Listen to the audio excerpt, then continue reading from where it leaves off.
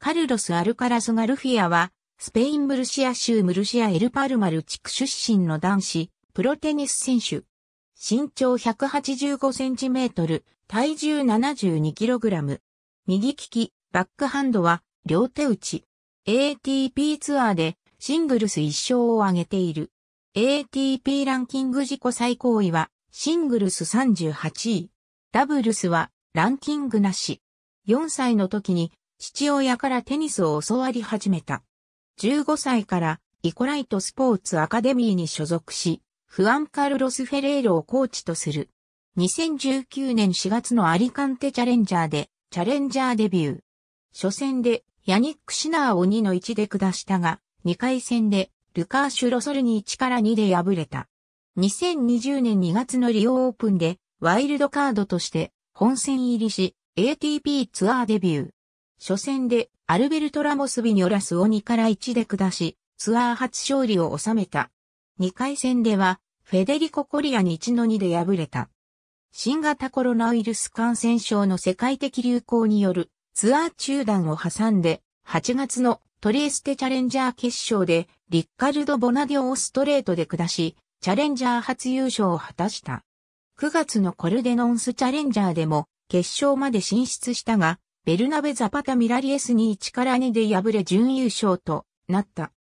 この活躍により9月14日時点のシングルスランクが186位まで上がり、同月に行われた全仏オープンの予選初出場を果たしたが、初戦でアレクサンダル・ブキッチに1から2で敗れた。10月のバルセロナチャレンジャー決勝でダミル・ジュムールを2から1で下し、チャレンジャー2勝目を挙げた。翌週行われたアリカンテチャレンジャー決勝でペドロ・マルティネスを2から0で下し、チャレンジャー3勝目を挙げた。これらの活躍により、アルカラスは2020年のニューカマー・オブ・ザ・イヤーに選出された。2021年1月に行われた全豪オープンの予選では、ホランスキー、カルロフスキー、デリエンをそれぞれ2から1、2から0、2から0で下して3連勝し、グランドスラム本戦初進出を決めた。